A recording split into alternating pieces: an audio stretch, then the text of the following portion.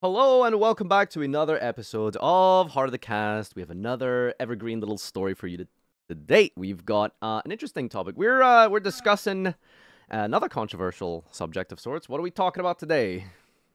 We're talking about hand traps, which I feel like some of them are controversial, not all of them, but I think it's, still, regardless, uh, interesting to revisit that sort of discussion. Um, like we've had it about floodgates, and I think this one is a little less controversial, but there's still some controversy to be had. Yeah, There's always going to be a strong opinion when it comes to uh, game defining pieces like uh, trap cards, hand traps, etc., etc. So today we're gonna take you through. Um, uh, this is this is the itinerary. So today we're gonna be discussing the history and evolution of the hand traps. We're gonna be starting from the very beginning, the very first hand traps, which essentially were just battle traps, things like Kuriboh.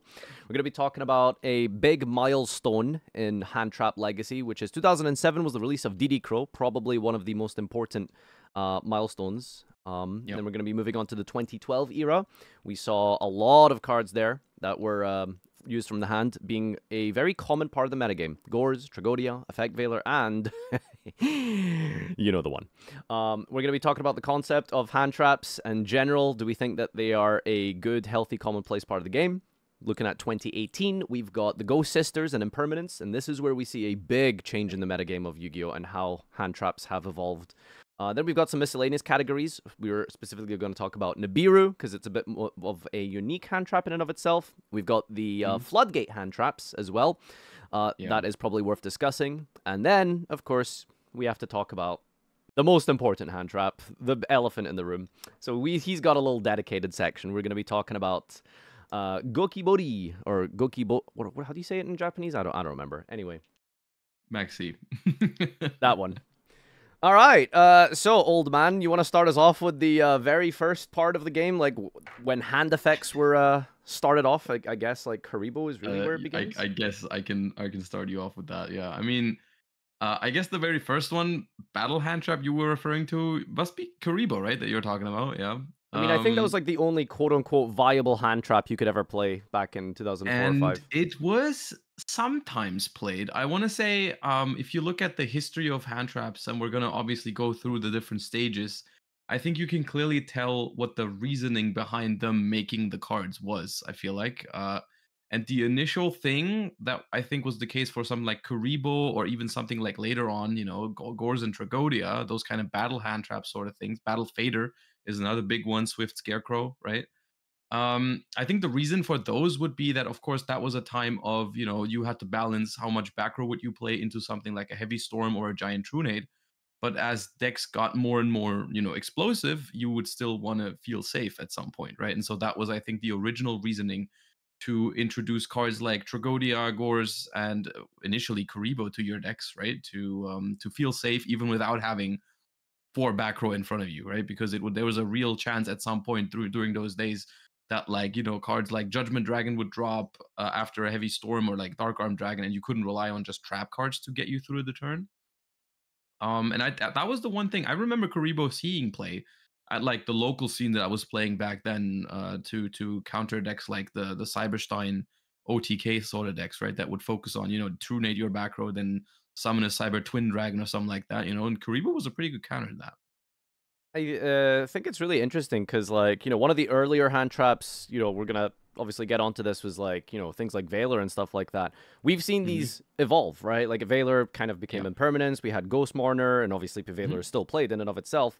Um, but battle hand traps, um, I don't think I've changed that much, right? Like, they've kind of stayed the same. I suppose like Gorz is like the big one we'll talk about. I yeah, I, I don't I don't know because nowadays you don't really pay attention to them, right? It's possible that they printed some that are actually better than the old ones, but I I you wouldn't even remember honestly because like they just aren't that relevant anymore, right? Yeah, so like it, it's it's weird because we still play like all of the sort of main phase hand traps a lot, but the battle ones have sort of faded out, right? We've mean, got yeah, so many. like the yeah Yeah, like uh, Gorz was like a big one. Honest, for example, was Yeah. huge when Lightsworns were a thing, right? Uh, oh yeah the- nowadays, the the, like- the attack the attack the damage calc ones are also a big deal. Yeah, that's true. yeah, and then we literally got Dark Honest, we got Liar, and no one has played that from what I've I've never Yeah. seen that in a deck list, right? And Yep. why is that? What I guess just the battle phase isn't as important. I guess, as the main phase, right? That's Like- the one thing. Yeah. The other thing is what I mentioned earlier. Like the reason why those cards were originally printed or looked after, right, is because they allowed you to have a more stable board position without having to set or play a whole bunch of trap cards, right? Um, which allowed for you to have a more secure position within the game, right? But like because in a game that goes over multiple turns anyways, like there's an argument to be made that's, that a card like DD Crow, right, that uh that was printed at, in 2007 um, and was occasionally played, but for the most part, you know, you have to have a good reason to not play a trap card over a hand trap, right? When the, because when the turn when the when the game lasts multiple turn, anyways, most of the trap cards have more impactful effects than a hand trap, right? And so that reason at the time would be well, heavy storms in the game. So if I have a Gorz in my hand and one trap card, I'm more I'm safer than if I just set two cards because then I risk going minus one into a heavy storm and having no backup anymore. We'll uh, see if battle hand traps ever really become a uh, a thing in modern Yu-Gi-Oh. Um, They would need think to be incredibly powerful. They would essentially, I think the already the first thing that a battle hand trap would need to have would be it. It would have to be impossible to negate it because that's the biggest deal about any any sort of battle hand trap nowadays. Like in theory, you could think like, oh, if I just have one more turn, maybe I could come back. But the thing is, most people going for like an OTK would have the ability nowadays to set up Apollousa or Baron or something of that sorts before they, you know, that's why it's that that's why it needs to be main phase nowadays, right? Because otherwise, well, you know, if my opponent gets to clear my board and go to the battle phase, then they probably can make an Apollousa or whatever. Have you heard of the card Goddess of Sweet Revenge? Oh yeah, that's cool. I've I've tried playing that in Master Duel once. I think I I had a stream where I tried to resolve that card once uh, in some of those event in some of the Master Duel event. Yep, there'll uh, that is uh, the level of uh, power that hand traps are going to need to be viable if they're just going to Well, be battle that traps. level of power minus the Minus the activation requirement. situational thing where you have to control like no cards and Literally it's the only zero. card in your hand, right? Yep, zero cards. It's it's kind of Yeah. crazy. Um, but yeah, um, battle traps I think have sort of just faded out, right? They kind of peaked Yeah. with things like Honest and Gorz, which we will uh, talk Mhm. about once we get to 2012 in just a moment. But um, yeah, you mentioned DD Crow 2007 was the release date. I think this was like probably where we see like the first milestone, the first marker and card design of like, hey, Yeah.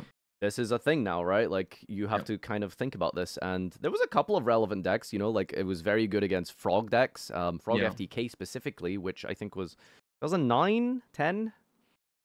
It was Frog FTK uh won Worlds in 2010. That's when Ronintoadin came out, my boy. Uh give it back.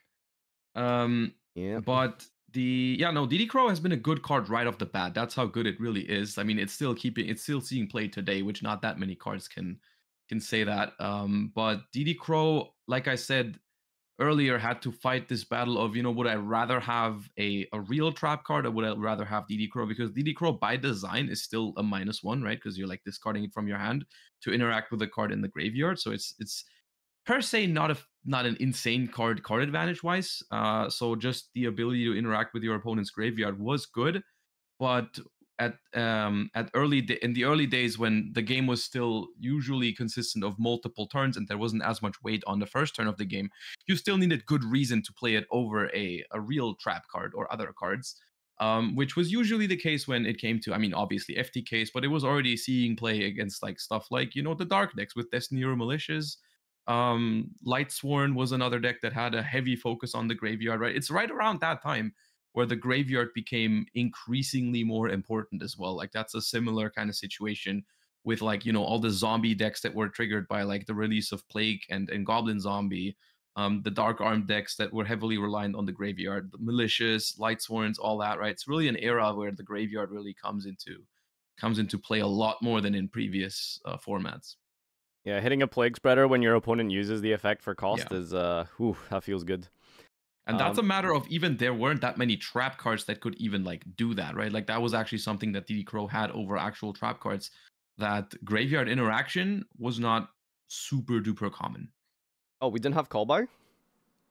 There, no, you you would you wouldn't believe it. No, that, that that card didn't exist back then. It was good times. Crazy to think call is like five years old now, but it was like 2018, I think call is when we saw it. But Yeah. Uh, I want to say 2018. Yeah, we definitely had it during Sky Stri- early Sky Striker and Goki days. So yeah, 2018, I think. which reminds me, we are gonna have to like talk about call by specifically once we get into the later Mhm. parts, because Yep. that is a very sort of part and part key point Yeah. of uh, the, the discussion when hand traps is the counters.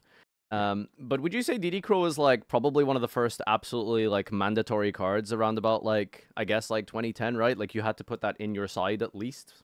It was definitely very popular. There was a lot of decks that that didn't play it. So mo- mostly, it was it was basically the question was, did your deck struggle with the matchups that DD Crow was really good in? You know, there are certain decks, for example, if you look at Edison format, there is a couple decks that struggle with the Frog Monarch matchup, for for example, and then obviously you would throw that card into your deck. Um, or your side deck, right? And then there's other decks that don't have a big problem with that matchup, and then you're you're not going to play, it, right? It's a it's a very much like you look at the decks in the format, you identify which which decks you have a problem with, and then you put side deck cards uh, against those matchups into your deck, right? And DD Crow was part of the of those cards that would go first first thing you would put into your deck if you think of decks like uh, Treeborn, use that Treeborn Frog or whatever, then you would you would you would think of Crow usually first thing, yeah. I'm trying to think if there was any other um, utility that Crow offered, because you know one of like the cool things with like the Ghost Sisters is like you know during that Halq era, for example, everyone was playing a bunch of hand traps, but you could just genuinely normal summon Ash Blossom, and that would make Halq a five X, right? Um, I don't Yeah, think I DD think Crow the, ever uh, the only thing like I, I can think of with DD Crow was that it was an allure target and a crush card target. That was one um sort of uh, special thing about DD Ooh, Crow. It was card. a very easy way. Like I remember during early Dark Armed and Crush Card days, that was sort of like the package that you would play in order to fit Crush Card into your deck to have enough Dark Monsters for it. You'd play like Sangan, Spirit Reaper, a couple DD Crows, and that would be enough to justify running Crush Card. Because obviously, I mean, if you had the money for Crush Card, you wanted to use it because of how powerful it was. And and DD Crow was one of the easiest way to make sure you have enough darks for that. Good uh, catch as well by Twitch chat. Like you could use it to discard and just manipulate your dark count for dark Exactly. That's yeah, uh, that too. Like manipulate. Like if you needed a third dark or you needed one dark for a chaos sorcerer, like it was very easy to just DD Crow something and put it there. Fifth monster for Avarice is something that comes up. There's a there's a couple of um, instances where just being able to put a monster into the graveyard is relevant. Yeah, for sure. We move into where I think the uh, next major milestone is of uh, Mhm. hand traps here. We can talk about each one of these uh, individually, but around the 2012 era of the game, we start to really see that, hey, hand traps are now like a real thing. This isn't just sort of like a niche thing that you do with like DD Crow. We now have like Effect Veiler. This is like a very real card that you can play that will stop your Yeah. opponent's tour guide. Uh, Gorz and Tragodia, very, very popular in the format. And of course, Maxi, which we will be dedicating a section for later to talk about specifically. But we see Yep. that this is like a common theme now. This is like something that is happening more often in the game. Yeah. This is definitely around the time where I would argue it was also a good idea to make a card like Effect Veiler. Um, because it was around that time where the game is really picking up more and more steam, right? Between um, like the release of, you know, t- 2009, 2008, you think of like Dark Armed and Lightsworn releases, like the first really explosive decks. And then we go into this more modern era in 2011, 2012, where more and more decks are like this that can have like relatively explosive turns and uh, we still have cards like Cold Wave in the game. That was a very big deal around that time, and also like I don't remember exactly. There were some formats where Heavy Storm was legal, uh, some formats Giant Tune is legal, some format all of them are legal. Like eh, eh, not exactly sure which one is which, but for the most part, you had some ways to get rid of the entire back row, right? Even something like Trap Stun was seeing play, right? And so just relying on traps to counter explosive strategies wasn't really great, right?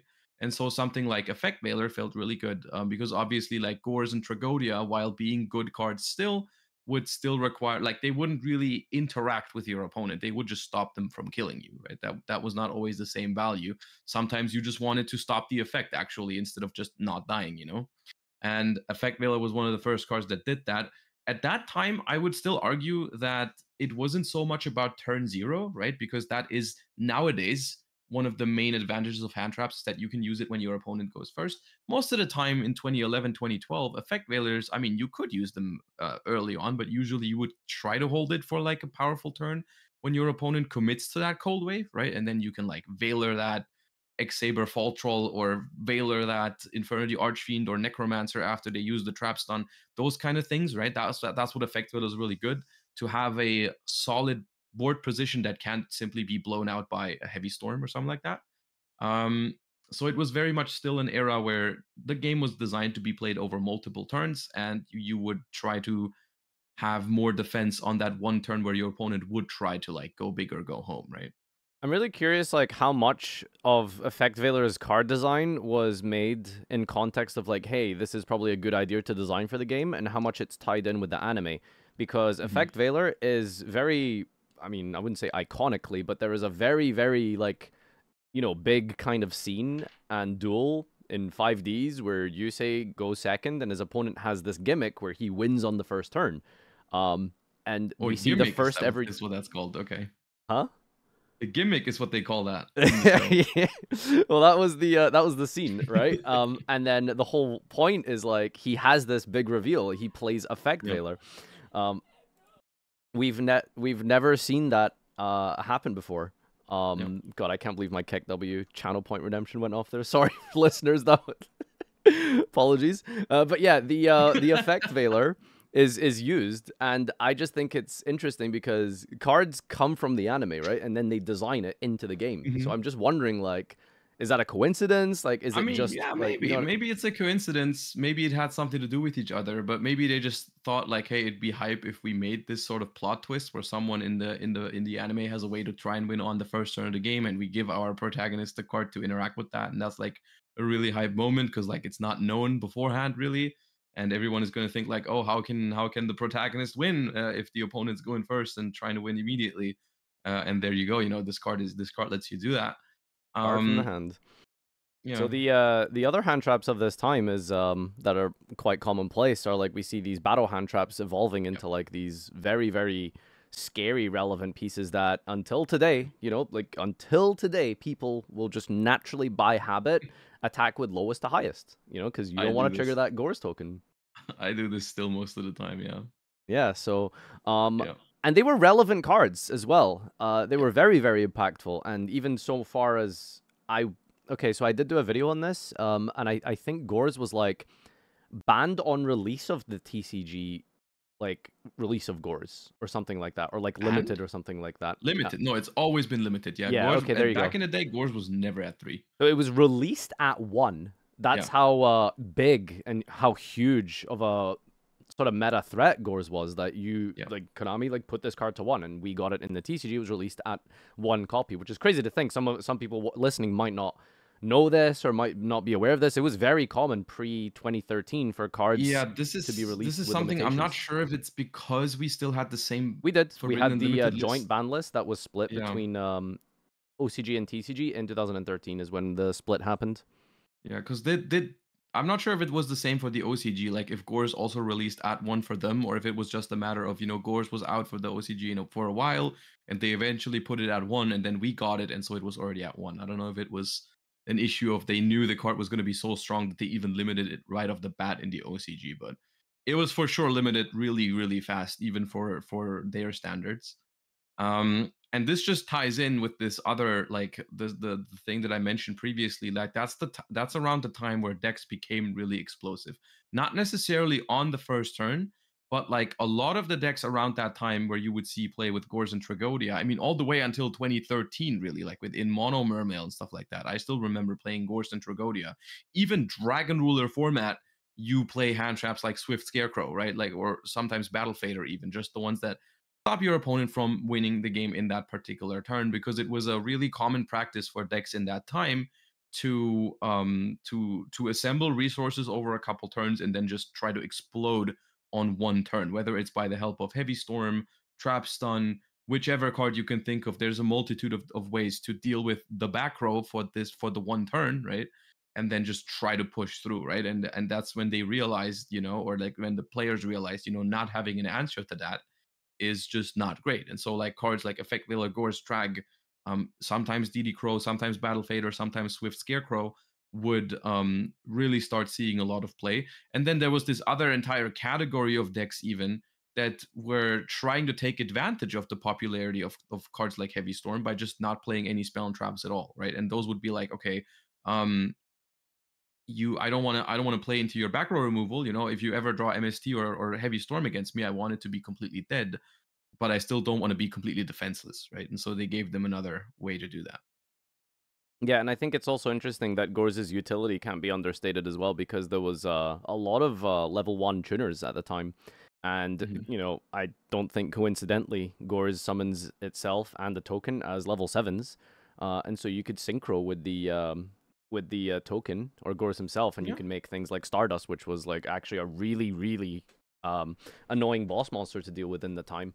And so Yeah. you know, you had things like uh, Glow Up Bulb. I think Spore was level one as well. Um, those are like a whole bunch of level one tuners that were good at the time. Normal summon effect veiler, you could do that as well. You could make yeah a- even that i mean that's I'm, I'm i'm always one of the biggest fans when cards have like multi-purpose and i think it's funny because i think the reason why they made effect veiler a tuner like for one obviously to promote the synchro summoning mechanic but i can also imagine that because it was one of the first of its kind and they designed it in a way where effect veiler similar to dd crow is also a minus one right? It doesn't get rid of the card that it negates. Most of the time your opponent summons a monster you effect veiler you go minus one. I'm not sure how strong they thought effect veiler was going to be right in, in initially. Like nowadays we know it's very strong but like back in the day when it was the first of its kind i can imagine they were like why don't we give this card another purpose just to make sure it's good enough right? Because maybe if if we don't give it any purpose then uh, it might not be strong enough. I'm not sure but maybe.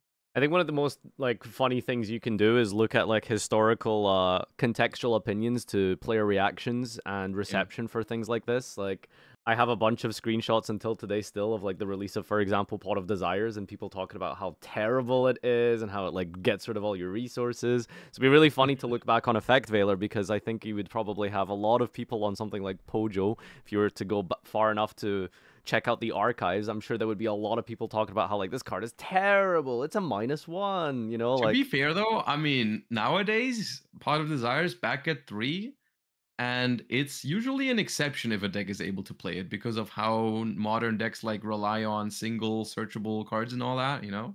Kind of like a special thing if your deck is able to play desires nowadays because the drawback with how modern yu-gi-oh! is being played actually comes into play. Obviously the whole minus nine meme is still uh, incredibly uh, incorrect but um I mean, that's- desires that's sort does have a drawback. that's why it's not in every deck. I, yeah, it's it's one of those things where it's like, um, you know, I, that's a different topic of like power creep and stuff, and just how much Yeah. engine requirement there is today. But yeah, um, Mhm. I think it'd be very interesting to see just how. Uh, people saw these things on release uh, and what they thought of things Oh like yeah, Effect yeah, yeah, yeah. I mean, you can you can tell by the reception of Effect Veiler that it was respected as a good card right away. I'm pretty sure. Like I'm, I, I think it came out right around like, I want to say it's like um Tengu Plant format right before that, right? Duelist Revolution, I think, is the set, and um, it was played right away, right? But because people immediately saw the potential of like, okay, there's these decks in the format that everyone's playing like cold wave or other stuff you know? There's like there's there's tengu plant which has huge explosive turns. There's x saber that has huge explosive turns. That's even x saber might even be slightly before tengu plant where effect wheel was already out.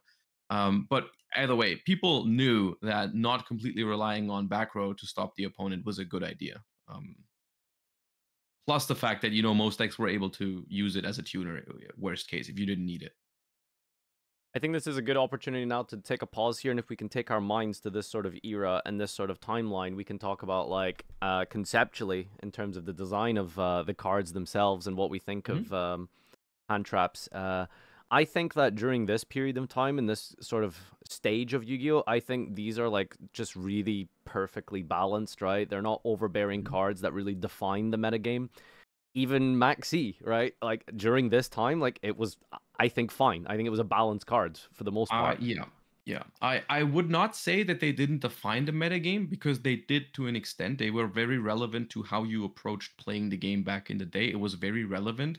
I but think I very think different to how it is today, makes, at least. I think that's what makes good card design is the fact that they were relevant, right? Mhm. um, and people did play them and actively had to play around them.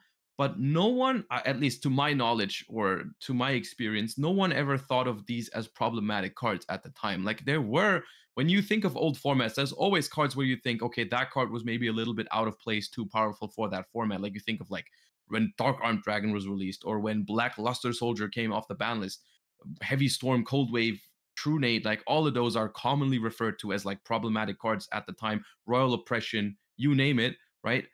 Effect Veiler, Gor's Tragodia, Battle Fader, all those were totally accepted, even though they were all popular in different decks. You know, a lot of people played those cards. No one really thought they were a problem. They were all fine with them, right? And I think that's when you really know the design for the time was appropriate because like the cards were well received, people liked them, people played with them. People mostly didn't complain about them because they were just everyone knew they were reasonable, I feel like. Yeah, and even something like uh, Maxi at this point in time, um, you can see like there was Yeah. potentially like a lot of uh, a lot of like misuses of Maxi, right? Like sometimes, you know, your opponent would summon Tour Guide and you would just immediately Maxi, and it's like there's an argument to be had where, you know, in a Tengu plant mirror, maybe that's Mhm. not correct to use immediately, right? Yep. Like sometimes holding Maxi for the push when they go for like the heavy storm or the big clear and they actually try and attack for game, Maxi allows Mhm. you to draw into things like uh Gorz, for example, you know, and it was like a very um, it was it was a lot more, shall we say, relaxed in terms of the hand trap metagame. As you said, it was like relevant, but I don't think it was like you know a massively defining aspect of of how the game works compared to where we are Mhm. today. So, in terms of the design aspect of hand traps during this period, I think it's a very sweet spot. I think it's Yep. just at its perfect um kind of power level. Yeah, I would agree with that. That that, that those are pretty good. Even Maxi in the beginning, like, wasn't even considered a staple in every single deck. Like, it took a, a while, but then people did realize it was a really good card. But it still, for the time, wasn't really uh, like referred to as a super problematic card, which is funny looking back at it from the day. But I suppose um, looking at Maxi from today's perspective is something we're going to do in a little bit. But um, I would, I would, I would agree with you that for that timing, um, hand traps were a very good idea and they were well received and the design was pretty good for almost all of them or all of them i can i can't think of one that was a problem back in the day the only one that actually undershot its target a little bit which is funny because nowadays it's everywhere is uh, Droll & Lock Bird. Drollin Lockbird is actually that old. Like that thing's from 2011.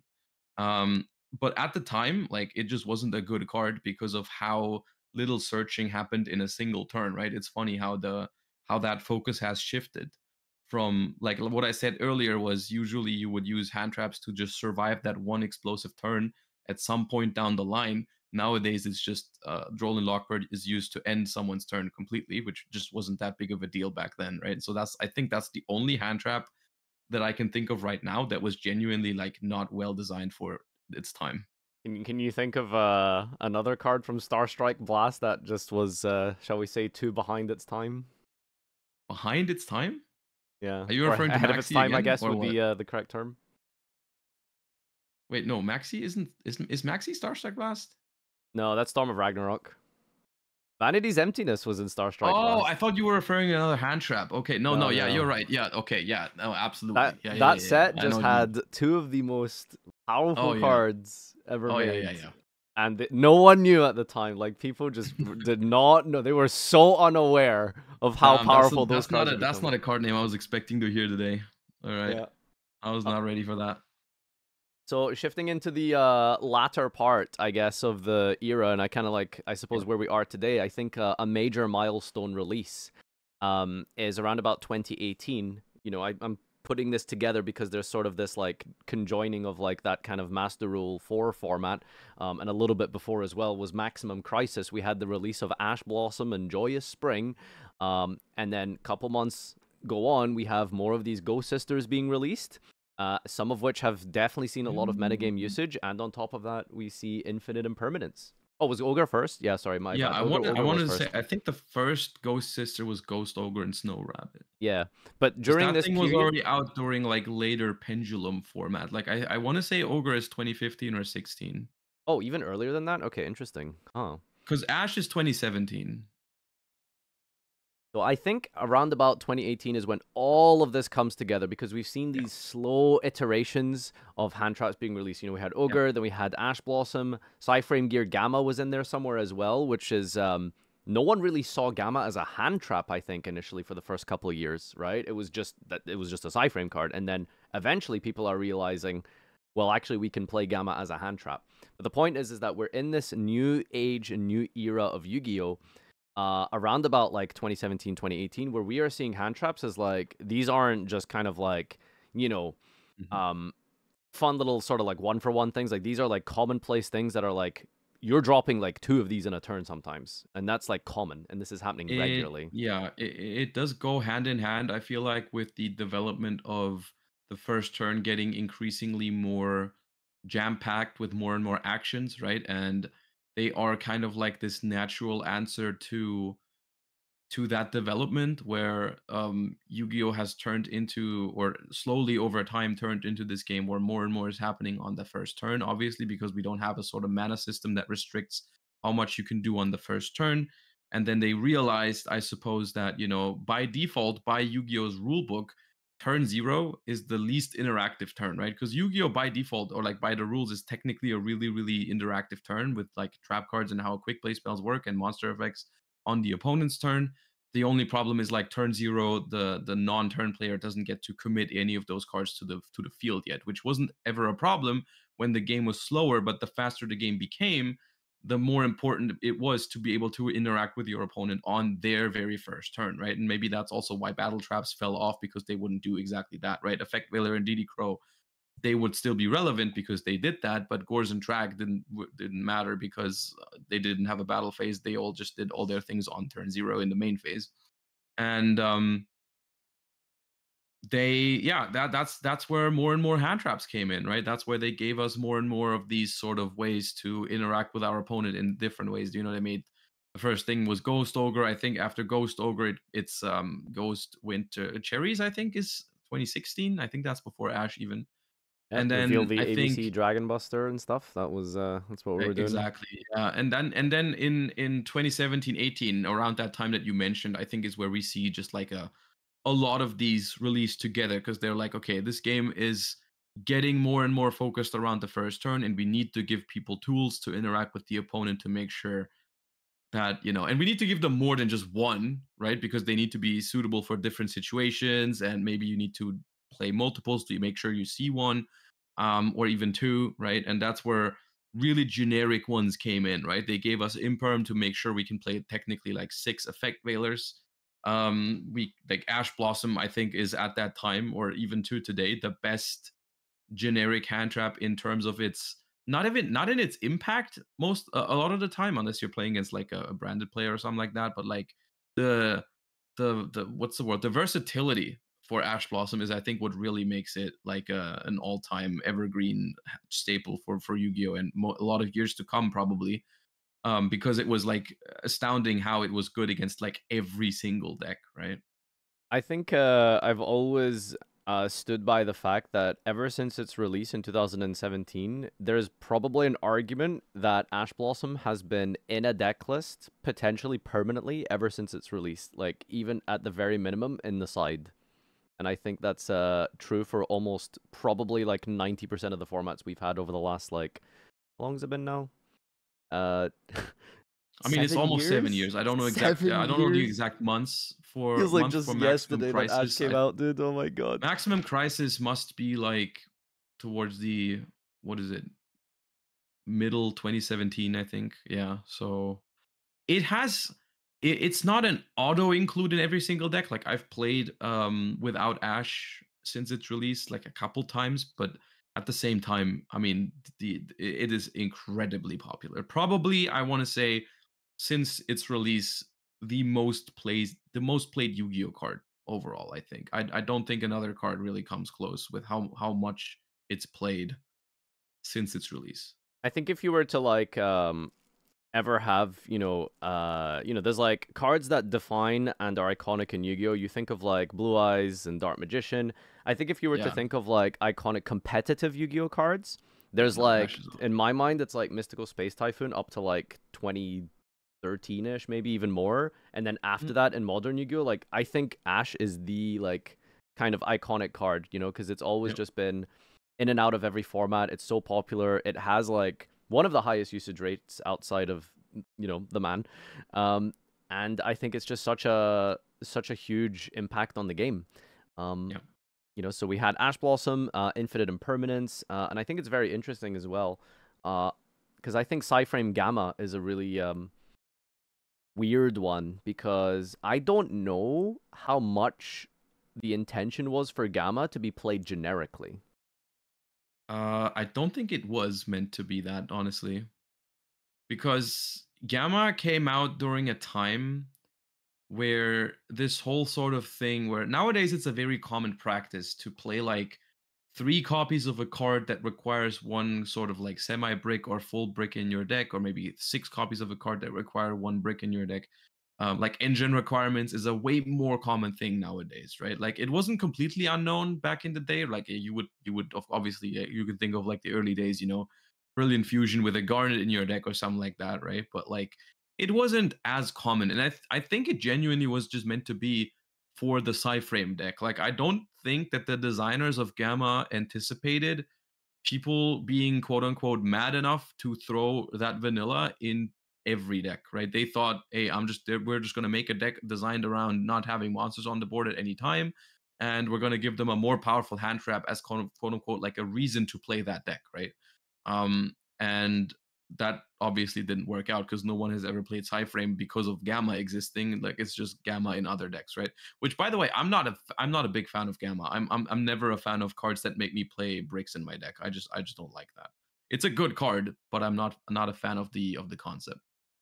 I will admit that some of my most uh, hype and fun moments have always been like hand trap wars involving Gamma and being able to resolve Gamma, get that body on your own turn. Oh, it it's free. I mean, it's ruler. a very good and very hype card in that sense, right? But it nothing. There's nothing that says you can't create a card that feels like that. That doesn't have to play a vanilla in your deck, right? Yeah, like I, I think I just hate the feeling of drawing driver, and I hate that Gamma sometimes feels necessary and is so good that I feel inclined to put that card into my deck, especially right now when like in Master Duel the card is semi-limited, so I'm getting an even worse deal out of it. Like statistically, right? It's just like I have two gammas in my deck, not even the full three. And sometimes sometimes because of how good Maxi is, for example, I'm still forced or I feel forced to play that card in my deck, which I just really don't want to.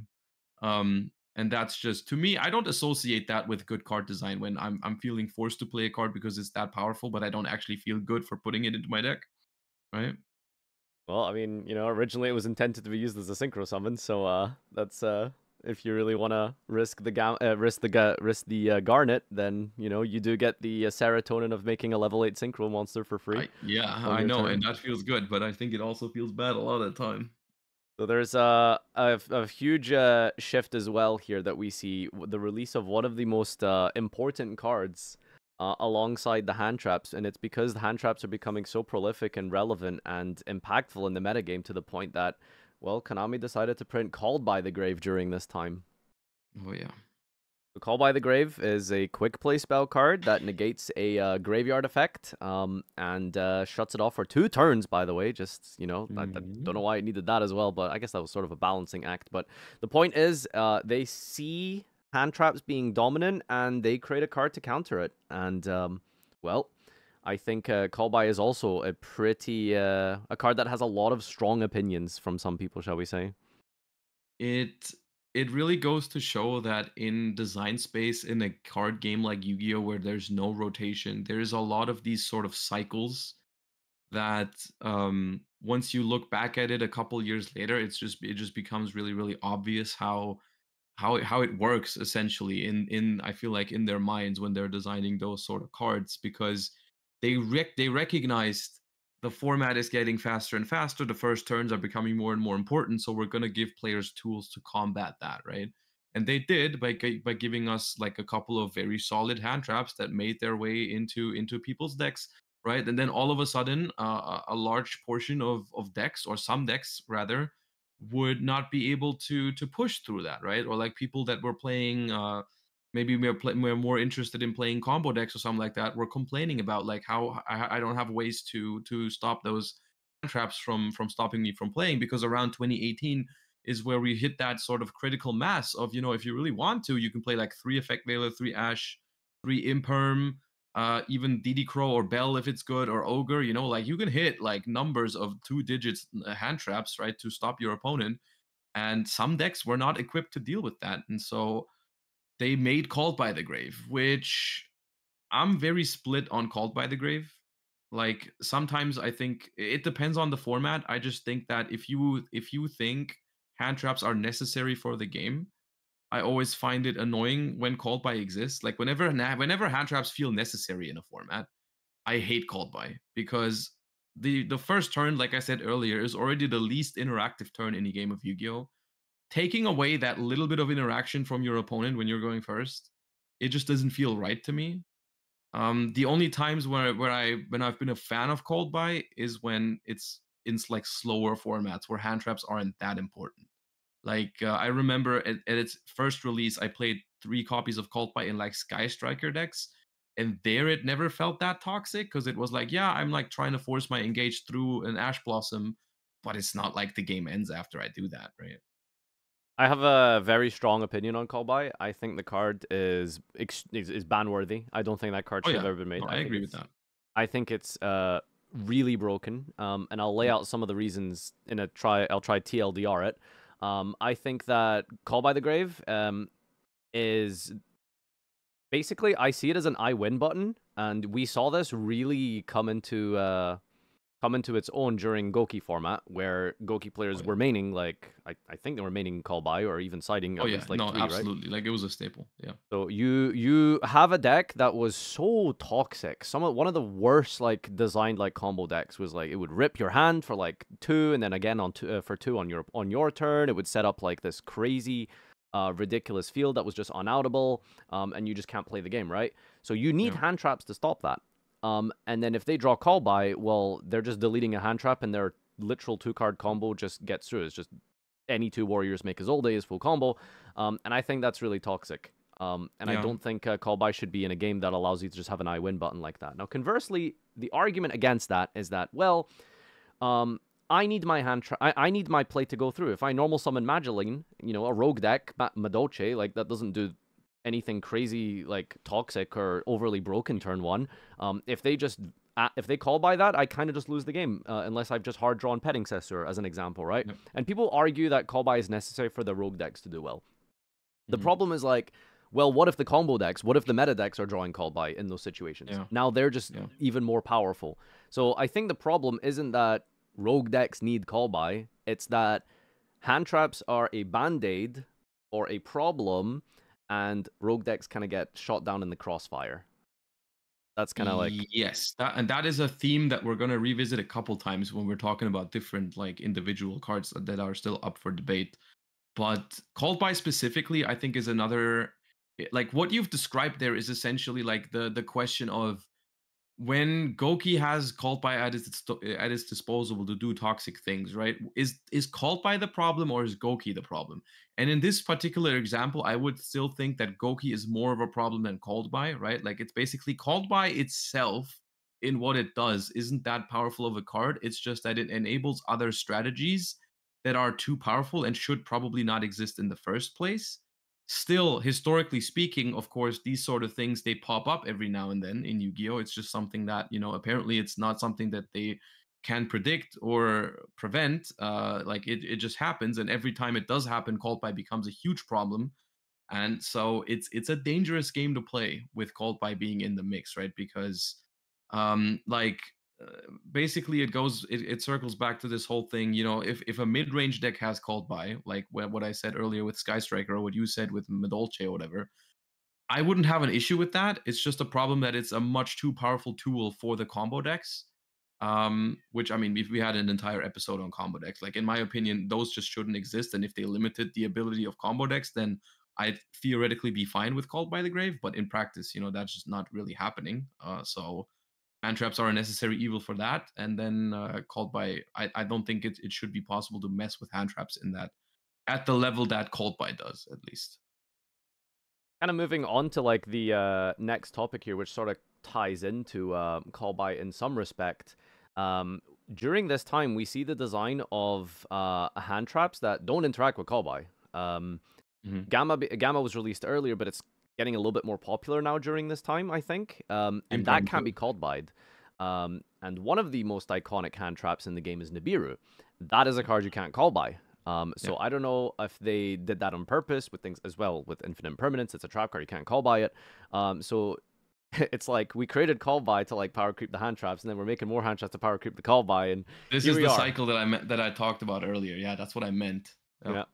Uh, and here we are with Nibiru, released in 2019. Um, and one of the most iconic design shifts we've seen, which is three promotional cards for the Mega-Tins was Nibiru, Shifter, Dark Ruler. Cards mm-hmm. very, very specifically designed to deal with combo decks. that's a topic that we've already been over, but we're going to talk Yeah. about Nibiru here and Mhm. the sort of design aspect of Nibiru. This was creating a card like Nibiru is a bold move, isn't it? I, I think so, yeah. But at the same time, I, I think I said this before when we I think in the combo deck episode, my my tinfoil hat theory. I think Nibiru was designed by the TCG as like a replacement for Maxi. Um, because uh, we have this sort of problem as well when it comes to Yu-Gi-Oh archetype design, right? The OCG sometimes they I, I feel like they design archetypes specifically around Maxi. Like sometimes they'll make archetypes that are notoriously good into Maxi and make your opponent's Maxi feel completely dead, like Flu. And sometimes they will make incredibly powerful archetypes that are super combo heavy with the idea that, well, they can't Maxi, so they can't beat Maxi, so their win rate is going to be fine overall, right? That's I'm thinking of something like Super Heavy Samurai, where the deck can't use Called by or Crossout by design, and so it's usually going to lose to Maxi. So that was kind of their justification for why Super Heavy Samurai was made and even existed for such a long time in the OCG. Um, and the problem in that case is that whenever they make an archetype like that, right, and they have Maxi to to deal with it, and then the TCG doesn't have Maxi because they're based individuals apparently in that regard. Um, but then those archetypes come over here still, right? It's not like they can select, oh well, that's too dangerous, we don't want that. We still get those cards. Uh, and I think at some point the TCG was just like, now we need we need something that's not Maxi uh, to to combat that. And I think that's why that specific tin was made because it's not just Nibiru, it was Shifter and Dark Ruler at the same time, all three together. Yep, summarized pretty well. Um, I think that um, Nibiru is uh, it's it's weird because it's supposed to be like the the entire purpose of Nibiru is like it's it's like the shift right where it's um you know a Veiler, an Ash Blossom, a Ghost Ogre, a Ghost Mourner like those cards are not Mhm. designed to end your turn. Uh, but I think Yeah. Nibiru was very much like, hey, listen, you're uh, you're getting out of control over there, buddy. So uh, here's a rock. You know, that- Yeah, that's kind of yeah. like I think what Mhm. the the purpose of it. It's supposed to be this game turn ending card. And again, it's like an arms race between the card design of the power creep. It's like, okay, well, Yeah. Nibiru's in the game, so now we need to like make decks that can beat Nibiru, um, and then summon Apollo's on their fifth or Baronne on the fifth summon, etc., etc. right? So we've seen this like uh, development over the years, and I think that um, you know, that's that's kind of going back to the other topic that we talked about in the previous podcast, but yeah, I just think it's interesting that Nibiru was made as a hand trap, and it's a very huge, impactful hand trap when it hits at the right time. A game-winning card, like an actual just turn-ending game-winning card. Um, Yep. If Nibiru resolves like against a lot of decks, like um, it can just be the end, especially against rogue decks. And I think that's kind of where like yeah. a lot of the frustrations with Nibiru come from. Is like Mhm. meta decks are the are the the meta combo decks are the decks that you know checkbox you have to be able to play through something like Nibiru or Droll, right? Um, Yep. for a, for a rogue combo deck, like that's gonna be very hard to meet those cri- to meet that criteria. Um, it's definitely another one of those issues where Nibiru in itself, I actually am a fan of Nibiru's design as opposed to something like D Shifter because I just think it was um like the idea behind Nibiru, I think, was to replace Maxi without just being good every single time in every single matchup and auto win every single time, you know, because it does leave some room to play around it. The problem is you need a deck that can do it. And so Nibiru, while mostly viewed as like a necessary card and introduces some sort of skill into the the top level decks in the in the game, it it catches a lot of decks in the crossfire. Um, and ever since its introduction, it's been relatively popular. I suppose the only quote unquote um good thing for rogue decks that lose to Nibiru um it would be that the more decks they make nowadays that are good into Nibiru there's like there's been formats where it wasn't that popular simply because they've designed decks that were good against it and therefore Nibiru sort of fades in and out of the game sometimes. And then you can find openings in the format where Nibiru is not that popular but like it still doesn't feel great obviously when you're already playing a rogue deck and then you also have to rely on your opponent not playing Nibiru. Um, but yeah, it's definitely a, a big switch up from that idea of hey, we're making these sort of one v one hand traps, like you know, Ash, Imperm, Veiler, Crow. They all like discard me, I'm gone after, and I interact with one certain thing the opponent does. Like you look at something like Shifter or Nibiru, they're very different. They're more situational, but they are higher risk, higher reward, rather, should I say? No? Yeah. Uh, well, um, we've got uh the next category of hand traps, and uh, we mentioned it earlier. Droll and Lockbird is probably one of the first ever floodgate hand traps. Yeah. Um, but then we've seen uh, some of them be designed, you know, again, like Shifter is part and parcel that Nibiru kind of style era, and they were made in the same product. And then we also had Lancea was massively popular in 2019, um, hitting all kinds of decks, like you know, pr- specifically designed to beat Orcust. Uh, it was pretty good against Thunder Dragon, uh, and even hitting random rogue stuff like Dino. It would just like completely end your turn. Um, Yep. You know, Droll and Lockbird does the same against a lot of decks. Um, which is you know Droll is an interesting one, right? Because it was Yeah. never all, it was not relevant at all for like years until the game got Yeah. kind of faster. Um, but now we have a huge sort of uh, change up in the game. I think is like that 2019 era where now we're we don't even see hand traps being traded with anymore. We see people playing like a com- like total game ending hand traps, like Yeah. yeah, like the shifter, like the um like the Lancea, and I mean I'm just gonna let the cat out the bag here. Like I think that's absurd. Like I, I can't believe like that's okay. Like that was ever greenlit um, or allowed to exist for so long. I don't know if anyone else feels differently, but it's absurd to me that turn zero you can just cancel someone's turn with a shifter. Like that that is absurd to me. It, it is absurd, and I will say in general, I am just lingering uh, conditions. Um, I I think are just something that they should stop doing. Um, like in general, I think no matter which way you look at it, whether it's a monster applying a lingering condition on your opponent's turn, like Scythe or Calamity, or if it's a spell or trap card that you have to work for to apply a lingering condition, or if it's a hand trap that applies a lingering condition, it's just never good for the game because it's even less interactive than like a floodgate that stays on the board because at least you can like imagine an out to that right? You can be like okay well you know like i can at least per, per, like prepare for that in some shape or form which doesn't make it okay but at least it exists for It's a lot freaking any lingering sort of thing any any time a lingering effect is relevant it's because it's way too powerful and way too toxic and turn ending um so cards like Shifter, I, I just hate Shifter. Droll and Lockbird, I, I also don't like Droll and Lockbird. However, out of this entire category of lingering effects, uh, Droll and Lockbird to me sometimes feels like a necessary evil. At least like in the in the last couple years, I feel like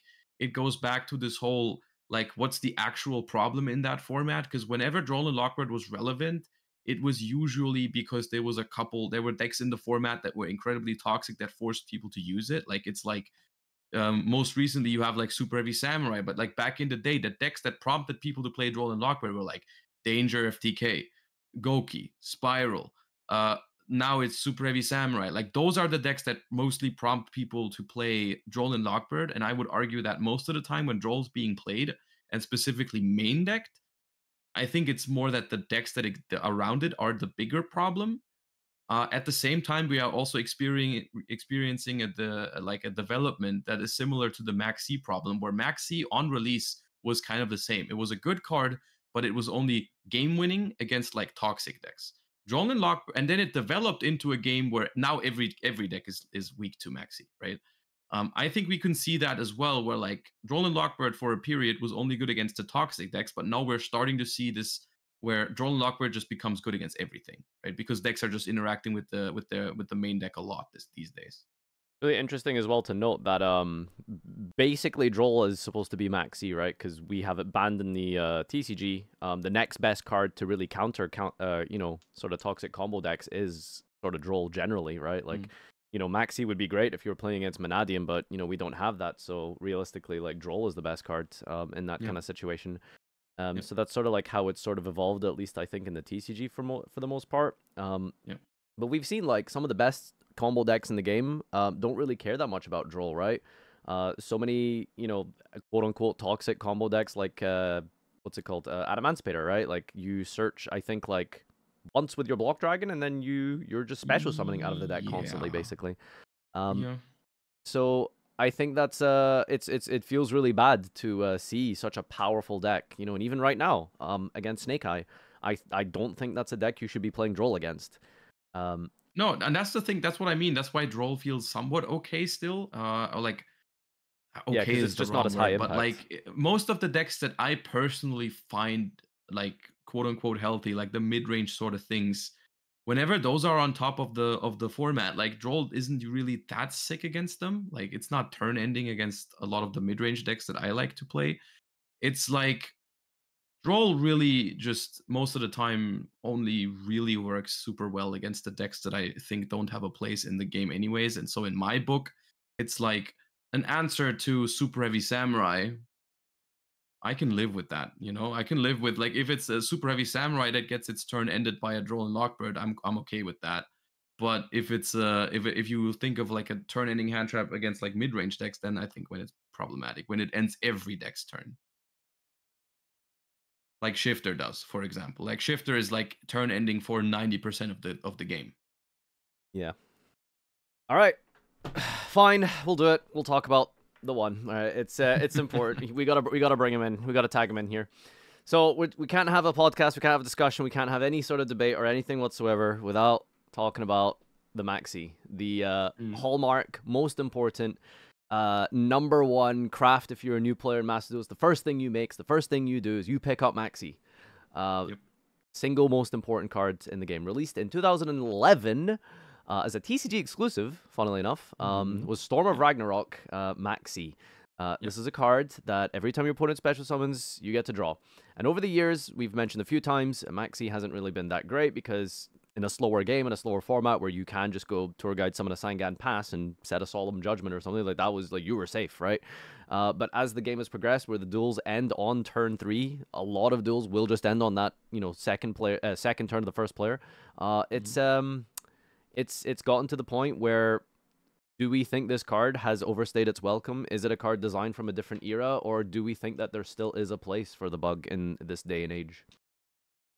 Um, it's definitely overstayed its welcome. I think it's a matter of I actually would argue Maxi was a good design at the time. Because the idea behind Maxi was clearly they they noticed that some decks were starting to get out of hand and they wanted a way to punish that and Maxi did that without in the beginning feeling too powerful. Like it was a card that in most matchups you could get like your one draw out of it consistently, but usually if that was your average, getting one draw, uh, that wasn't worth main decking. Like people realized it was a good card against a couple specific like decks, right? Um, but for the most part, it was like a sometimes you mained one or two copies, sometimes you only sided Maxi. Like people knew it was good, but it was only really good against like toxic strategies or too explosive strategies. Um, and I think one interesting thing about Maxi that gets overlooked now because of how it just ends the turn immediately, pretty much, right?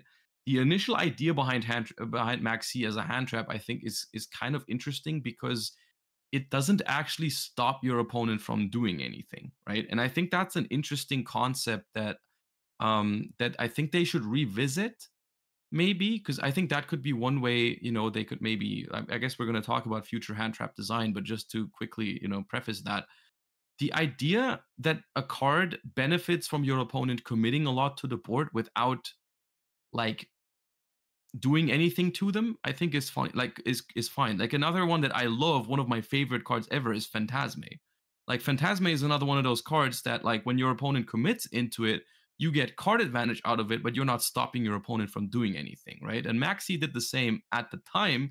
Obviously, like it was more balanced when it was an option to just pass your turn without dying every single time, right?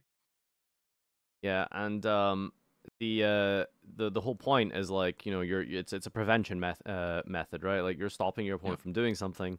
Um and I guess like I do quite like the sort of kiss curse aspect of Maxi, where it's like, okay, cool, like you're not actually stopping me from playing. I can keep yeah. going, but the problem I think is like so many decks like need to special summon so much to even just do something very yeah. simple, right? Like I always use like you know Tri Brigade and Salamangreat as like an example yeah. where those decks like they need to summon like a, a lot, and they only really end on like two disruption in engine. Um, and I think that's just it's overly punishing. Um, it's the, why the we card seen... is just too powerful because the game was different back then. Yeah. Um. Like even like regardless of where you are on on like the the the side and the agreement, uh, sorry, the debate of like Maxi, you just have to think like in principle. Does it re- like one of the cool aspects of Yu-Gi-Oh is like it's nice when like Book of Moon is relevant again, right? Like it's like okay, this card from like 20 years ago is like relevant again. Econ, um, here's this like random niche card like Bull Blader, randomly relevant in like Nekroz, right? Like it's cool when like random Mhm. things pop up like that. Um, but I think like when a card from you know 2011 that is such a defining factor in every single duel, um, where you are playing cards so much so to like counter it regardless of if you think that's good or, or, or bad, does it really make sense that a card from that long ago should be so pivotal? Uh, I I don't think it does. I think it's another matter of the idea behind Maxi is okay. The idea behind hey, we want to punish excessive special summoning. We want to punish combo decks, and the argument of hey, I- I'm afraid that if we get rid of Maxi, those decks would run rampant. All of those are reasonable reasonable things to say. Um, I just think that looking at it in practice, Maxx C doesn't actually do that. Maxx C pretty much wins almost every game that it resolves in, regardless of whether you're playing against an all-in combo deck or if you're playing against friggin' mid-range Salamangreat, which is like balanced uh, as hell, right? Um, I think it's quite simple. I I would love Max for Maxx C to be banned in every format, not just the TCG and i would just i would think they should just make a replacement just make a just design something that's more like adequate for for modern yu-gi-oh which i don't think is impossible. Like i said they they have the means to to make other hand traps that give you that generate card advantage uh, if your opponent summons into them or interact with your opponent in other ways. Like you it doesn't always have to be like dimension shifter or anything like that. They they, they can make cards like phantazmay is a one fanta- like fantastical uh, example, uh, no pun intended. But like that thing is also not. I, I think that card's not generic enough. Like I, I wish I, I wish we had more cards that like if if my opponent does too much, you know, I just get something out of it. Like I make going second a little bit easier. I mean, they've re they've retrained and redesigned Pot of Greed like into like seven different cards. You Yeah. know, like there's so many ways to like you know if you really like Pot of Greed, like there's lots of cards that kind of do the same thing in in in a slight roundabout way. Uh, why Yeah. can't we have that with Maxx C, right? Like it's uh the the community has come up with so many suggestions and ideas for how you can make Maxx C. There's a crazy amount of design space that they are just not exploring for hand traps. Like it's it's genuinely wild how um like they are exploring so many different ways to make different archetypes and different combos and all that kind of stuff and like genuinely i'm here even struggling to think when we got the last generically good hand trap nowadays because it's like there's been this huge peak like hand trap boom around 2018 2019 and then ever since it's like we got bestials which are very good cards but they are also kind of specific.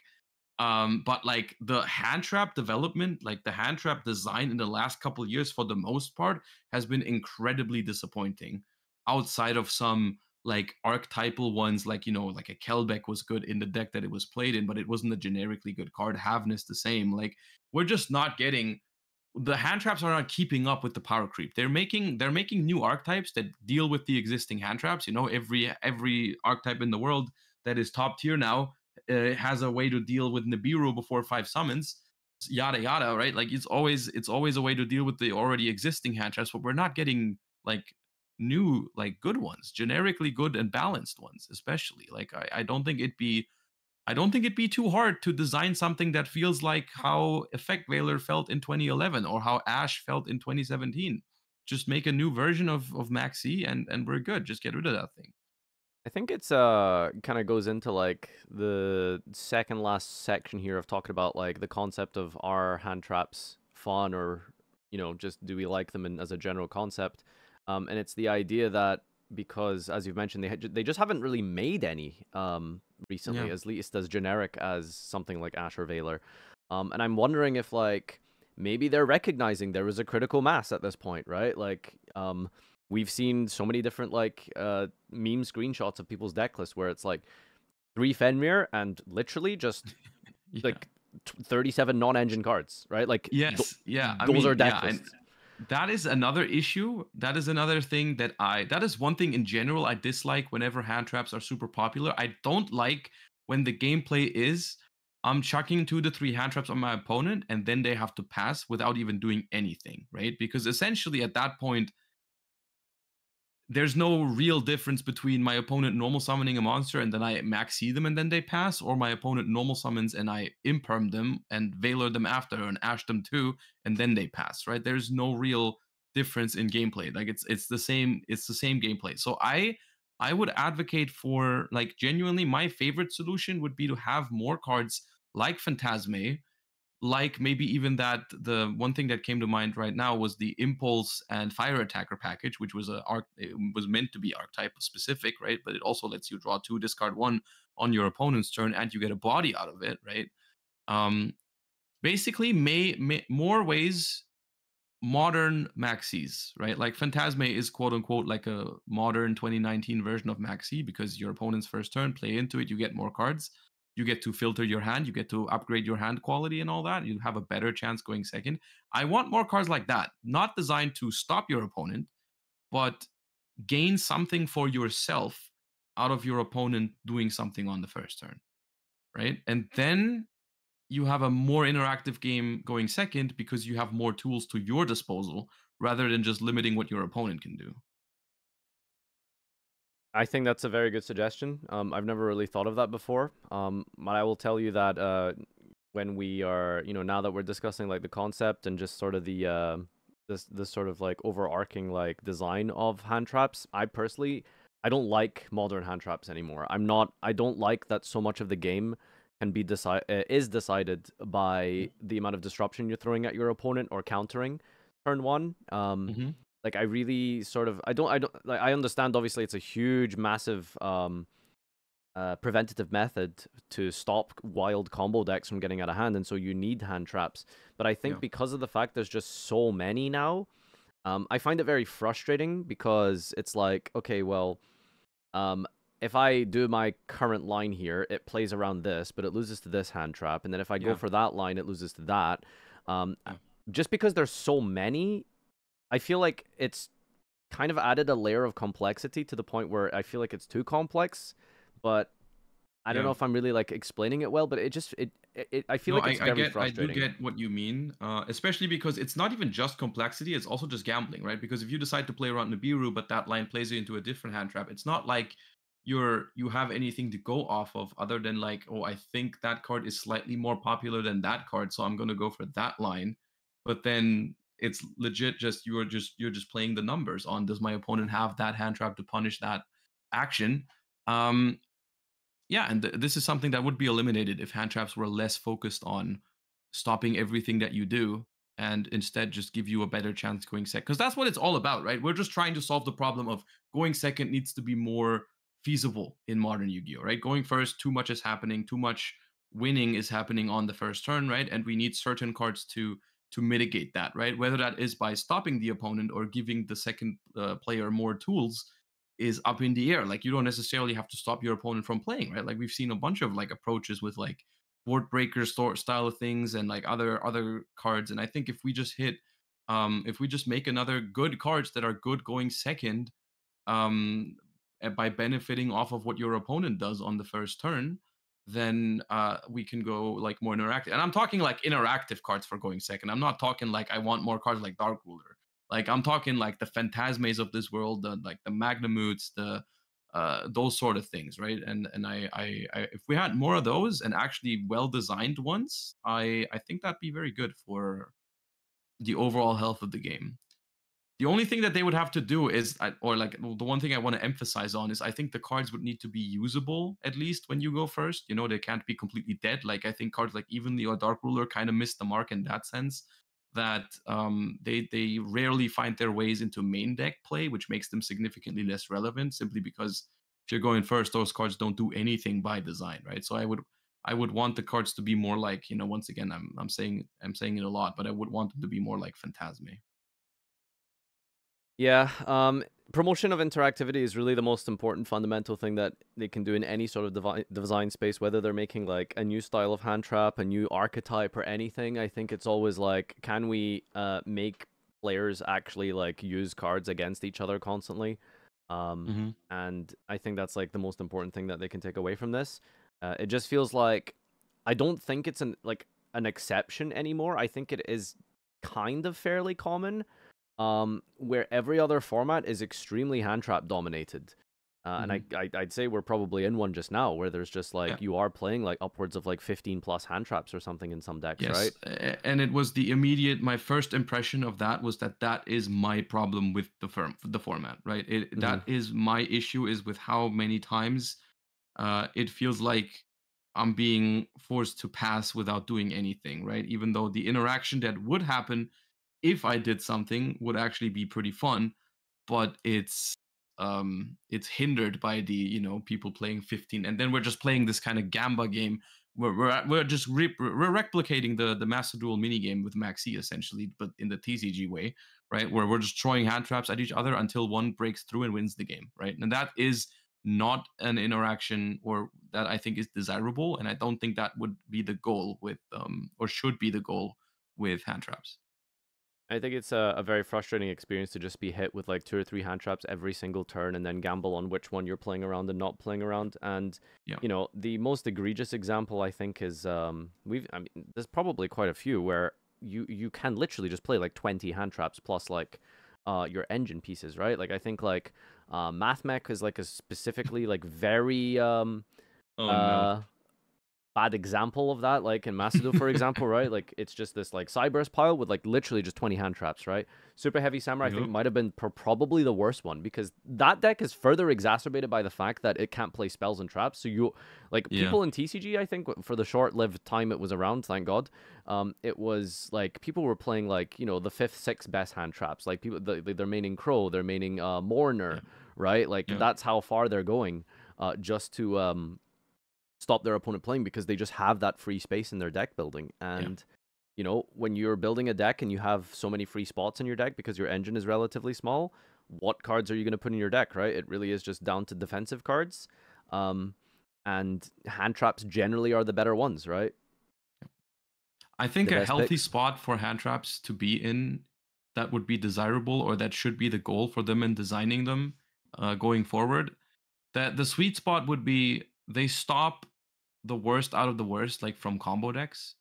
Um, and in sort of like the the general uh, situation, they stop your opponent from going super crazy, but they they would still be able to do something, right? They you don't stop the the goal should not be to stop them completely, but rather have them like if you have one or two hand traps, they can still make like a half board that is weaker than what they would have made if you didn't hand trap them. So it Mhm. is easier to deal with, but it's not just nothing straight up, right? Some of the worst like non games I've had has just been like being hit by like Ash Veiler Imperm and then your opponent activates, you know, Circular or Summon Lokai Exactly. or something That like is that. that is exactly the gameplay loop that should not be happening. Yeah.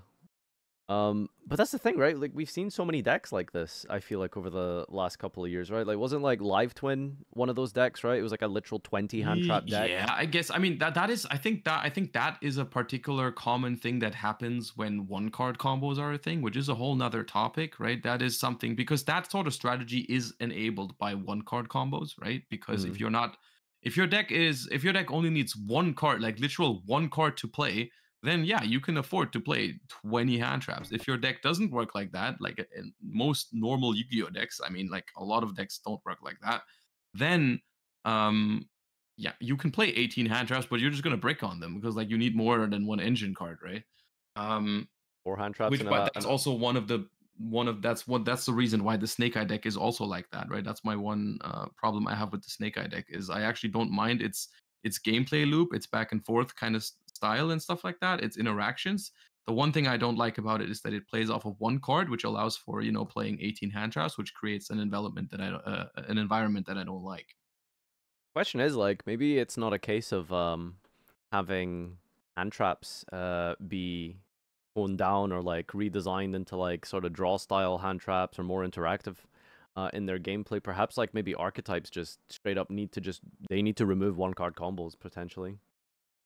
Uh, I they yeah, that that'd be one way. Like if they removed one card combos from archetypes, it's just a couple design principles. If they follow those, then they should be fine, right? Uh, like just make make less of a focus on one card combos, or if one card combos exist, right? Like for example, one one card combo that was fine was how people use tour guide in Unchained, for example. Like if you have a one card combo in your game, then make sure it's it's not completely over the top, right? It doesn't do something completely crazy. Like for example, Live Twin you mentioned. Um, yes, it had a one card combo, but the Live Twin one card combo was significantly different from the Math Mech one card combo, right? There or, or the or the Super Heavy Samurai one card combo, and that that was the one reason why like Live Twin never took over the meta because simply like yeah, it was a one card combo that could play a lot of hand traps, but like the one card combo wasn't that great, so you know like it, it wasn't that good of a deck because you would stop your opponent for one turn, pull off your one card combo, it doesn't win you the game, so your opponent plays next turn and like you can't keep up. So the problem is really just if if one card combos and does way too much, then it really becomes an issue. Yeah, for sure. And I think that, you know, not to say like I'm complaining about Live Twin, but just as an example, um, it, it Yeah. I just find it to be frustrating gameplay, whether or not like the end board is fair or, or too powerful. Yeah. You know, it's like being hit by three, sometimes even four hand traps to then just go normal summon a live twin, loci, circular, whatever it is, right? Yeah. Um, that's like I think can be uh can be quite a, a, very annoying thing, right? Yeah, yeah, it Um, can be for sure.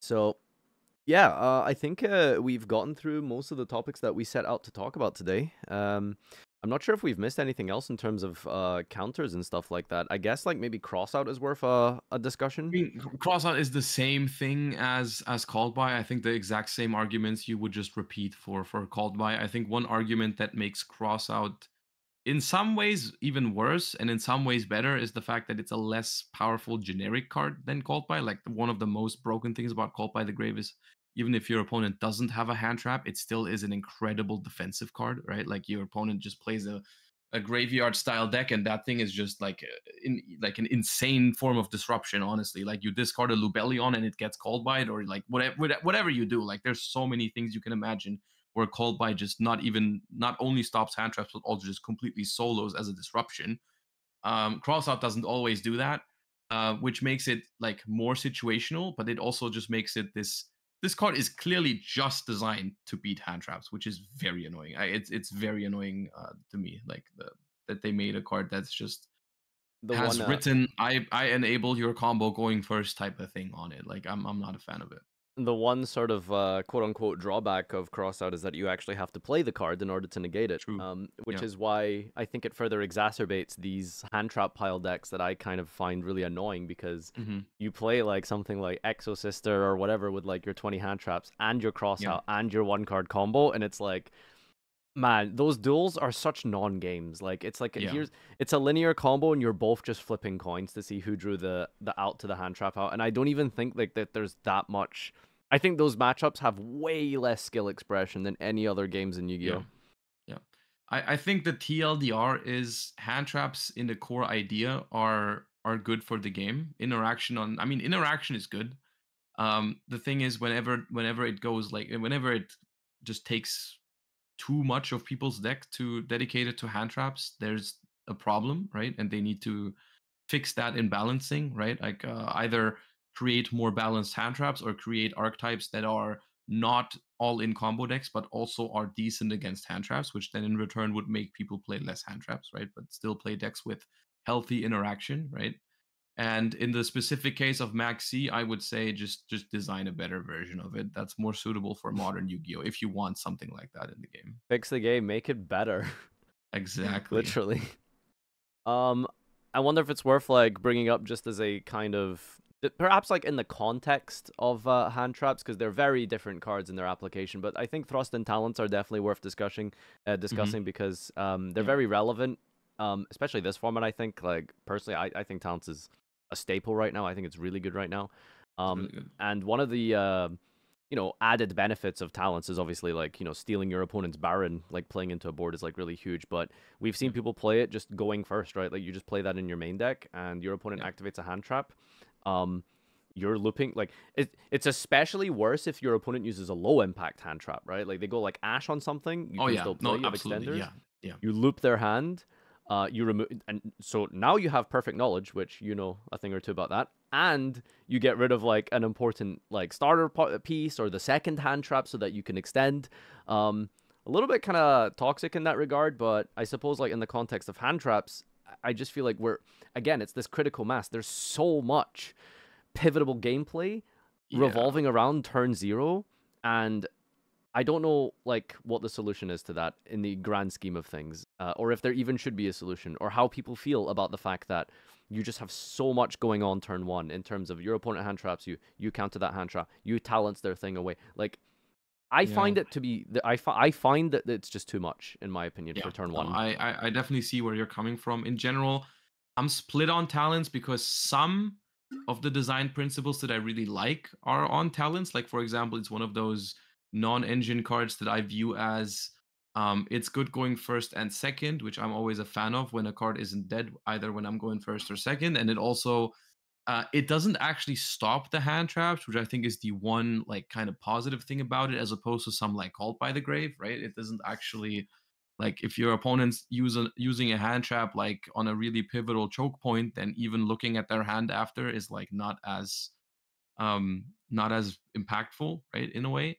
Um at the same time, you can't deny how incredibly powerful talents is and how incredibly good it can be, especially if you're required in a format to draw like multiple hand traps and then use the first one, lose the second one kind of situation is incredibly frustrating.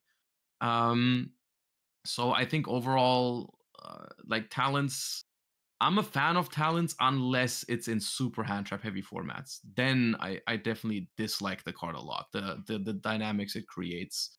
Um, yeah, it's kind of like that thing. If the format is in a healthy spot, then talents is also in a healthy spot. If the format is in an unhealthy spot, then talents makes it even more unhealthy. I think it was Jesse who once said that um like generally the more hand traps that people are playing, the worse the format is in general. I, I I think I th- I mean yeah that's absolutely true no because like in a world where you can legitimately enter a tournament with zero hand traps most of the time the format's been a banger. Like uh, it's it's usually like that because that just means you can afford to go second and break boards with actual gameplay. Um so that I would definitely agree on. Like the the the more hand traps people are playing the worse the format is but I I would also argue that that's not necessarily because of the hand traps. It's usually because of what the hand traps are trying to prevent, if that makes sense, right? The uh, q&a part i suppose if we want to take a look at questions from chat which i've got a, i think Mhm. one or two lined up here i don't know if it's worth a special shout out to havnis one of the uh, in archetype hand traps um, Yeah. but, but i think that's like an interesting card isn't it like they made a they made essentially a hand trap that mills and then I triggers your yeah, engine. I, I love that design, uh, and I've I've said that in the past. I love when they give archetypes or cards in general, but usually it's archetypal speci- specific ones, multi-purpose that makes them better going second. Um, like Havnis was a card that even if it didn't have that hand trap effect, you would still be playing it in Tearlaments, obviously because of the the number of names, right?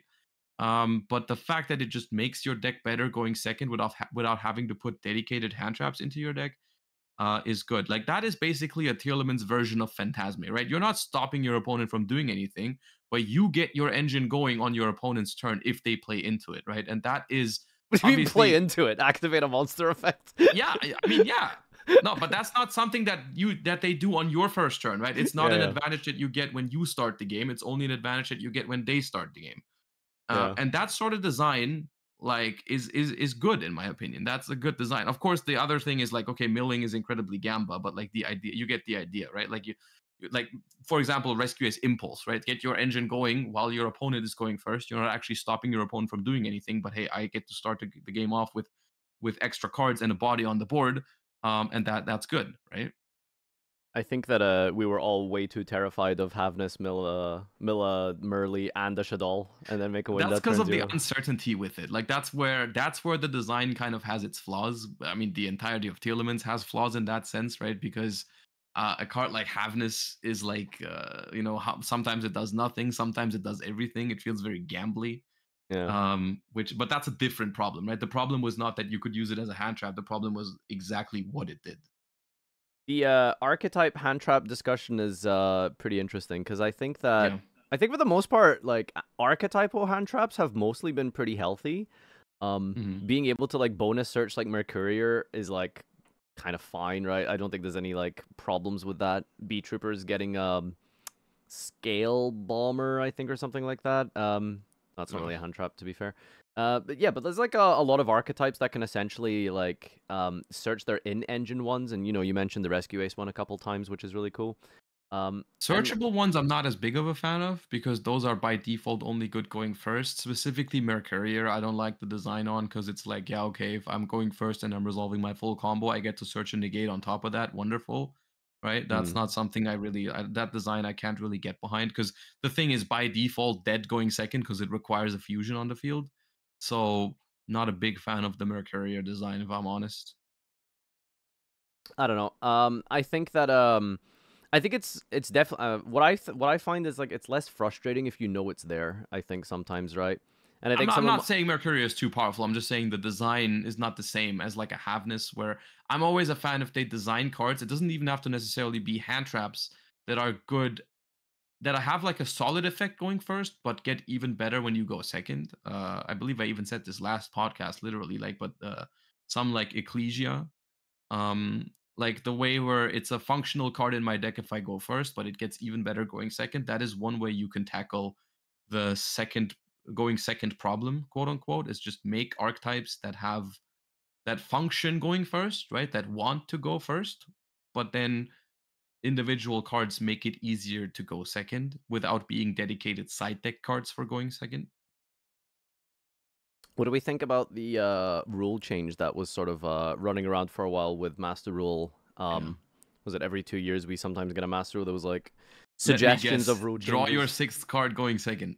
Yeah, so uh, for context, uh, there was a suggestion by Paolo uh, a year ago or something talking about how I, if of course, Paulo would suggest that. yeah, Yeah, one yeah, of the yeah. uh, No, I, I, yeah, that's that's a very Paulo suggestion. one of the hand trap enjoyers. We've got uh for context. Um, so the rule would be the player who loses the dice roll gets to start their turn with six cards instead of five, but you don't draw for turn.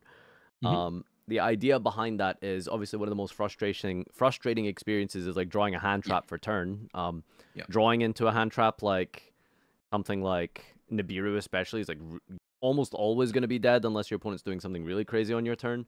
Yeah. Um, but yeah, it's like it's uh a- after they full combo, you draw Ash Blossom, you just sit there and you're like really upset.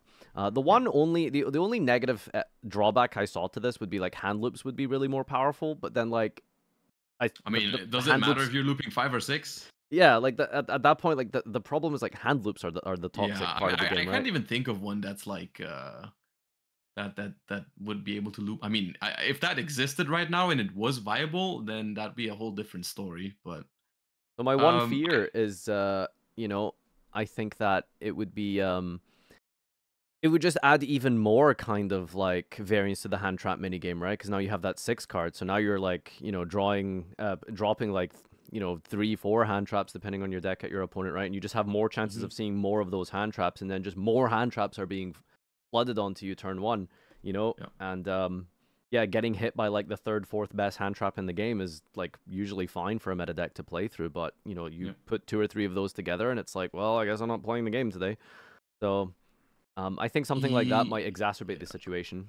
I I agree in some ways. I still think that I, I I think it would be a solid change. I don't think it'd be the best thing they could do because I think at that point it would just be leaning more into the problem. It would kind of be like, yeah, they're they're admitting going second is is too weak and going first is too powerful, but they're not really doing anything about it. They're kind of like saying, yeah, we're not going to change the way we approach card design or whatever, right? Because that would be the way they would really fix it. Like if you want to do something about going second, helping going second, and putting a little bit less weight on the first turn of the game, you would have to make that by like that. That ha- that's something that has to happen in card design because the the sixth card being in your hand already is only going to change the dynamic ever so often. Like a lot of the times, it won't do anything.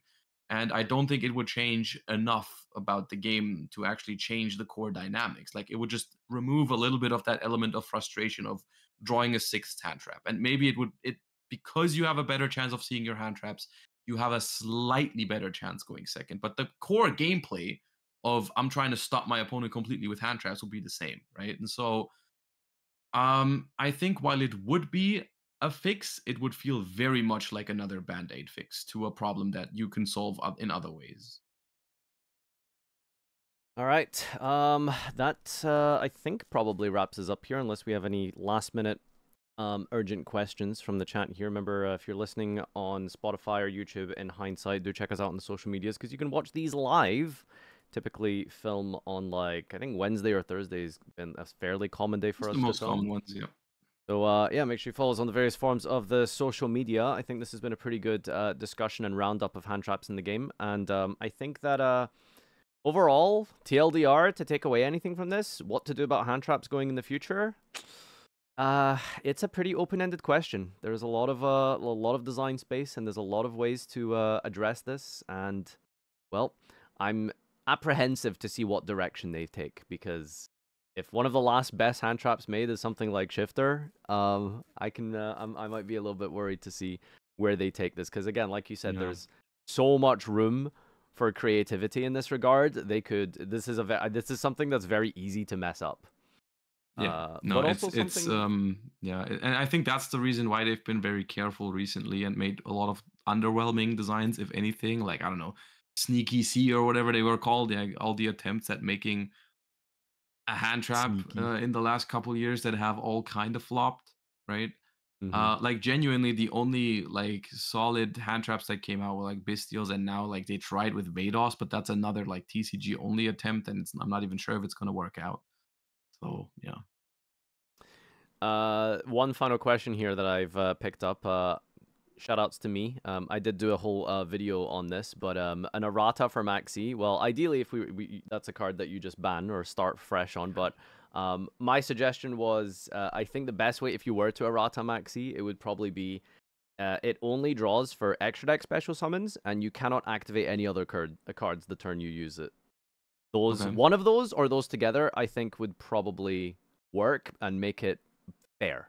Uh, not broken, but I think it would be quite balanced. Kind of like, especially the one you can't activate anything anymore because that means you can still get like OTK'd when you go first, and you even disable. Like you can't just like set up a bunch of negates and then Maxx C on top of that because then you would disable your own board. That's when it's most Um, frustrating is when you get when you have that card dropped on you going second. exactly. Like that's the even bigger deal with lingering cards like Droll and Ma- Maxx C is like they might sometimes be justified going second, but then you make a board going first and have those on top, and suddenly the game is like you're not even playing it. So yeah, no, that that's an interesting suggestion. Um, yeah, yeah. Should they print new versions of Gorz Fate or Tragoedia, like we mentioned a bit earlier? Those cards need like if they were to make a battle phase hand trap again, and it would be meta relevant, it would have to be like ridiculously strong, like The- unnegatable Goddess yeah. of Sweet Revenge level of powerful without like an absurd activation requirement. Like it would have to be Yeah.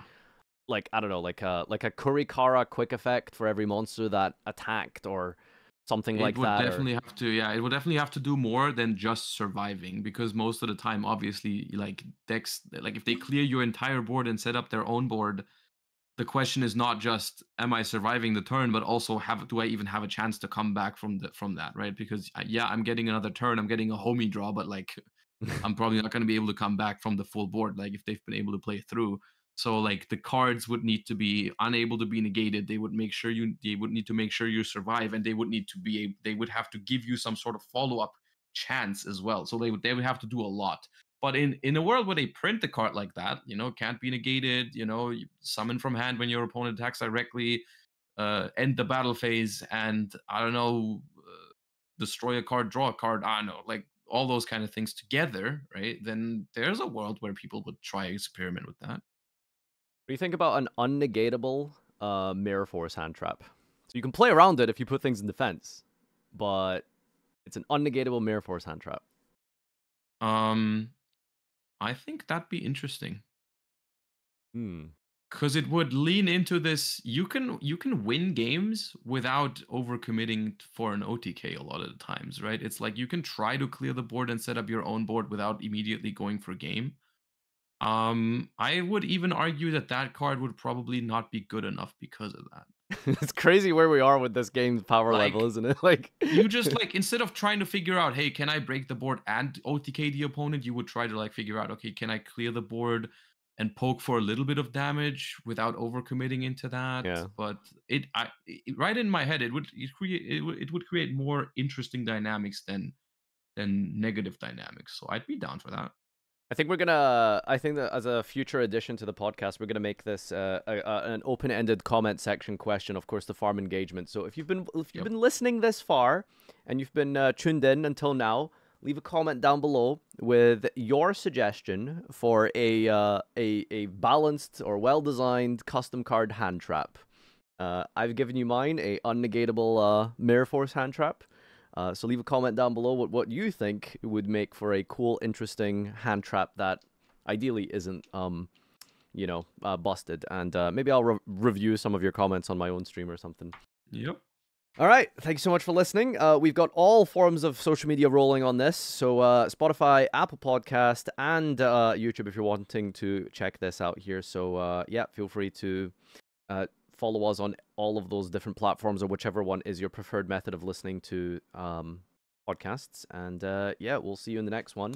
Uh, We don't know when this episode is going to go up because we have a couple of different priorities right now. So I think if you're listening to this, it'll be after the Phantom Nightmare 2 episode, which uh, Yeah, I mean, we did. Yeah, we did two episodes this week to have one in reserve for whenever we might not be able to film one. So this one is like kind of evergreen, so it's gonna like come out at some point. Yeah, so we're always going to have different topics rolling in the background. Uh, you might not see these filmed, uh, or you might not get these on your social medias filmed in sequence. Um, so just remember that, I guess. The more generic topics like this one are always probably going to be uh, outside of the norm of um, any sort of updates and interesting things happening in the game. But yeah, thanks for tuning in, as always, everyone, this week. Have a great uh, weekend and uh, take care. thank you for listening. Bye bye.